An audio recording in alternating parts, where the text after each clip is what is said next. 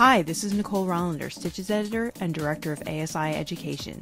In the November issue of Stitches, we feature the winners of our third annual Stitches Golden Needle Awards for excellence in embroidery and digitizing.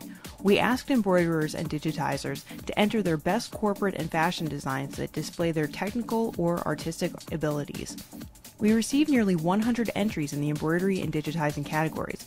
All of the embroidery designs were evaluated by a group of industry veterans who visited ASI in late July to evaluate and choose the embroidery winners.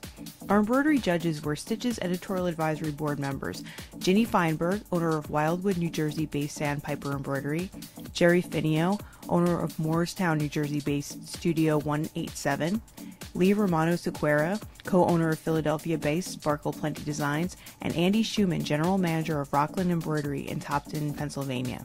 While at ASI, the judges reviewed all of the embroidery entries individually. Judging was blind, so the judges didn't know the names of the entrants, but were able to review the information submitted about the designs, about the embroidery and digitizing processes, and about items that had been embroidered.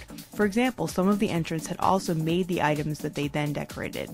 As you see in this video, the judges looked very carefully and collaboratively at each item.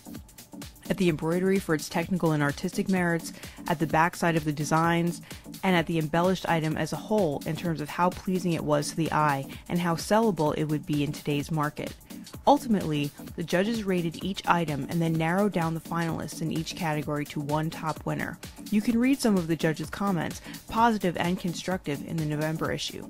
And if you're curious about the digitizing judging, here's the rundown. We sent the digitizing entries to other board members Eric Campbell, e commerce manager and digitizer at Albuquerque, New Mexico based Black Duck Inc., Steve Freeman, owner of Phoenix based Syntax Digital Solutions and QDigitizing.com, and Bonnie Landsberger, owner of Cannon Falls, Minnesota based Moonlight Design.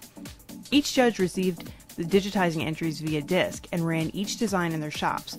They rated the designs on a scale of 1 to 10, judging in the following categories overall sewing quality, including the thread breaks, proper use of underlay, proper punching and registration, use of pathing, trims, and color changes, and artistic merit, including overall artistic design and overall artistic appeal. Congratulations to all of our winners.